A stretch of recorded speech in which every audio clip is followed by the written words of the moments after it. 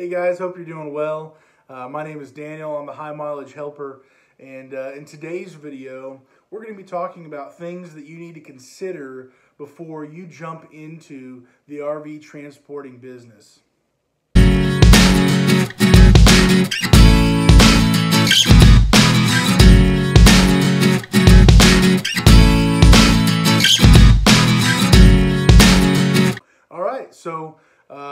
Dive right into it today.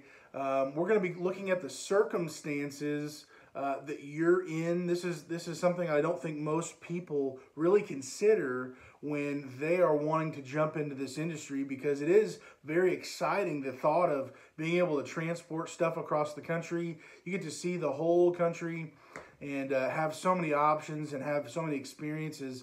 Uh, it can be a little overwhelming uh, at the beginning, but uh, we're just going to be looking at some uh, things that you need to really consider and just kind of hit the pause button for just a second uh, before you uh, fully just dive into it. Um, number one is going to be what is your financial position right now? Um, understand this isn't just a just a game you're, you're going to get into and it's going to be um, you're going to be making uh, money out of the beginning.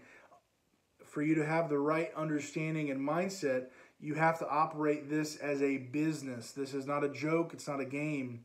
Um, if you operate this as a business, every business, understand, you lose money at the beginning of the start of the business. You're investing time, money, energy, all this stuff. You're you're operating a business at the beginning, which means uh, you either have to have a lot of money or already have a lot of assets to be able to kick this thing off, to start it off.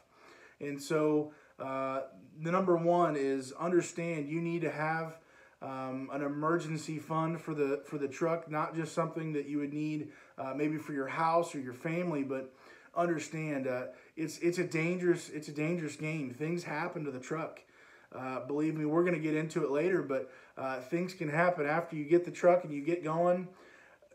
You can run into deep, deep trouble, and what are you going to do about it? Um, maybe that's maybe that's not a possibility. That's not an option uh, for you to have a, a, a deeper emergency fund, uh, a backup fund for for your your business for your truck.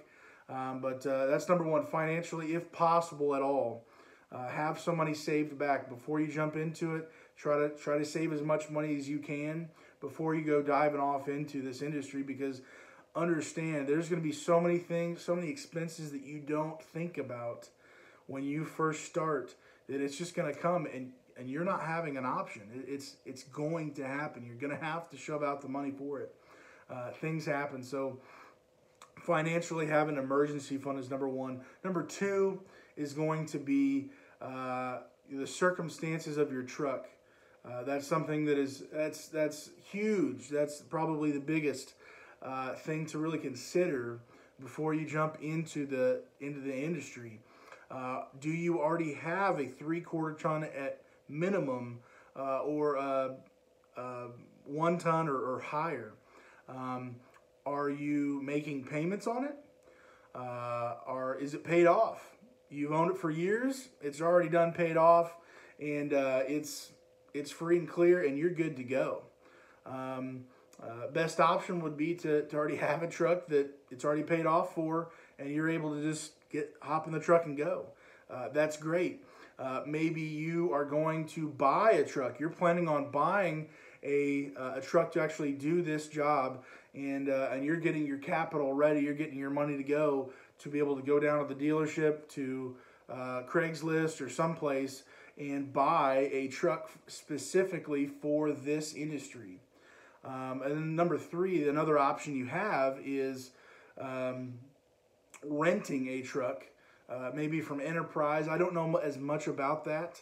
Uh, maybe there's some other guys you can talk to online about that, but uh, renting a truck is another option you have in uh, your process of getting a vehicle uh, to do the job. And so, uh, again, uh, if you already have a truck, if you're planning on buying a truck and then renting a truck or, or leasing a truck, um, really, uh, to be doing this job, uh, those are three questions you've got to ask yourself. What are you going to be doing? How, how are you going to start off? Um, uh, are you going to buy a $75,000 truck?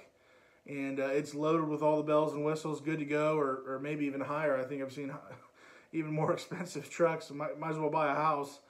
Um, are you going to be buying brand new? Or are you going to be buying used?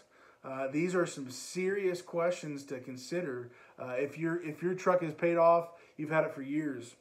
Um, how much maintenance, how much repairs do you have to do to get this thing up to DOT inspection level? Um, is it a rust bucket? Is it falling apart? Um, also, another thing to consider is uh, is your truck too old for companies to consider actually letting you lease onto them? Uh, that's that's a serious question, uh, uh that needs to be answered. So, uh, anyways, things for us to consider financially, your truck, and then lastly, I would just put this in a in a bigger category, but your your home situation. how long are you planning on being gone on trips? Um, are you planning on doing day trips? Uh, I can tell you that's what I first kind of considered, and then I thought, well, oh man, maybe I need to be doing longer trips to to make more money and it'd be worth my my time. I'm not having to go pick it up and take it back home and all these things. Um, are, are you are you um, you and your family really ready uh, for you to be gone a day and a half, three days, uh, possibly a week, uh, going to California and coming back? Um, that's what it would be for me uh, living in Indiana. So, uh, what what really are you prepared to do? Um, what are you willing to do? And understand based upon what you're willing to do. That means that's kind of kind of set your schedule uh, for where you're at. Uh, later on in other videos, I'm going to be sharing uh, where I started out at, and then where I kind of um, changed things up, and then I've since changed things differently as well. So. Um, Hope this was a help to you. Uh, these are just some things to consider.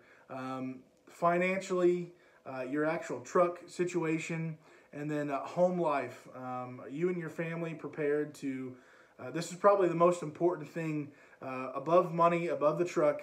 Uh, you um, staying in relationships with your with your spouse, with your children. Um, running a business, driving on the road is not worth losing your family. Uh, I'll say it again running your business on the road is not worth losing your family. I can tell you uh, it's very, very difficult. Uh, it can be very challenging, and uh, you can kind of be overtaken. And so, uh, those are just some thoughts to give you. And uh, I just want to be, again, I want to be a help to you. I'm the high mileage helper, and really wanted to be a blessing to you today. And um, look for other videos. I'm going to be posting uh, as many as I can to really just kind of go through these things uh, so you can be better prepared than I was when I first started on the road. So again, uh, subscribe and like uh, if this was a help to you. Hope you're having a great day. Stay safe and God bless.